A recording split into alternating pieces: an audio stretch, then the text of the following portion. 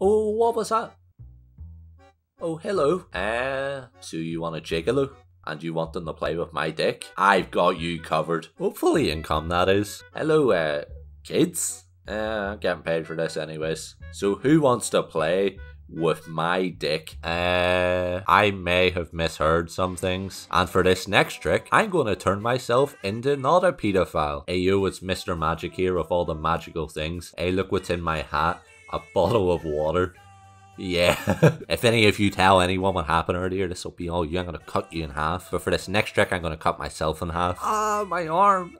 Ah, my arm. Where did it go? I wonder where my arm is. Ah, look what I can do with my thumb. Yeah, there it is. Oh, it's gone. Oh, there it is. Oh, it's gone. And this one's an old classic. I've got your nose. I've got your nose. I've got.